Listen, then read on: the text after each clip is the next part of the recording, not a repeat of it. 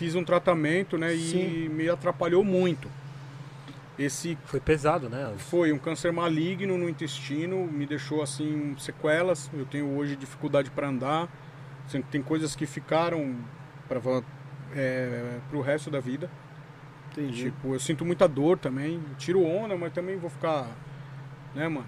sim, Tem sim. que bola para frente. E eu fazia esse tratamento. Certo. Os médicos falam que a pandemia me ajudou no sentido que eu tive que ficar quieto, né, mano? Porque, Se mano, cuidar, né? mesmo, é, o, com o Taíde é bom, porque o Taíde tem um circuito de shows que pega um público que, que é da época dele também, da época que a gente curtiu, e é muito, vai, vai num Sesc, vai fazer shows em faculdades, é organizado, mas tem muita gente, mano. Tem muita gente. E aí, na situação que eu tava, debilitado, se pega um bagulho desse aí de Covid aí, pra mim é caixão. Sim, com certeza. Eu fiquei muito afastado e eles respeitaram isso pra caralho, assim, tipo. Sua recuperação, né? É, o, o tempo se que cuidar, teve né? que ficar Tratamento. parado, afastado. Tratamento, né? Um dia, um dia ou dois dias antes do, da minha cirurgia, o Taíde foi em casa, dar, um, dar uma ideia, tá ligado? Tem muita gente, mano, ó. O Taíde uma vez falou um bagulho pra mim foda, mano. Porque assim, meu estúdio era o estúdio dos irmãos, né, mano? Lotado. E ele ficava vendo o bagulho. Geralmente eu falo que foi um amigo que falou isso, mas foi o Taíde que falou isso pra mim. Sim. Ele teve uma visão que ele falou assim, que é o dia que você se organizar e passar a trabalhar direito, cobrando os valores justos e tal, você vai ver se essa galera vai ficar aí. Porque você não tem amigo, cara, você tem estúdio. Pode crer. Não vai ninguém lá, velho.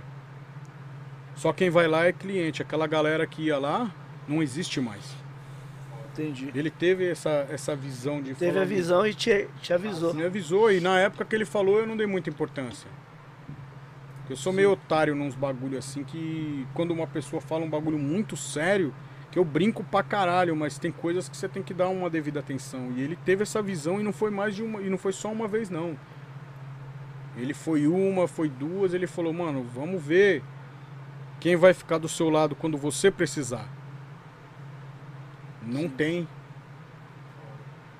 Não Pode tem. crer. Eu sempre fui o cara que fez a parada pros outros, Sim. mas fez nas condições que as pessoas queriam também, que era cômodo, né?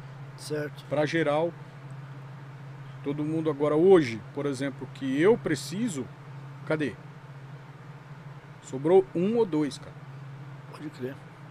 Um ou dois que realmente foi lá, falou, você tá precisando do quê? Não vou dizer que não teve, teve sim, mas muito pouco, perto do que era. Mano, quando você tá estourado, fazendo um bagulho foda, você é o cara, você é o melhor produtor, você é o cara que todo mundo quer tá lá. É isso, é o preço que você paga, velho. Na época que eu fiz as músicas estouradas, todo mundo falava, faz um beat igual esse aí pra mim, quanto é? Quando você cai, velho, quando entra outros caras que é, é rápido o bagulho hoje, acabou. Ninguém nem lembra mais. Não, né, e é- eu, e assim, eu na época eu achava que essas pessoas eram pessoas que eram pro resto da vida. Você acha? Pode crer. Porra, não é.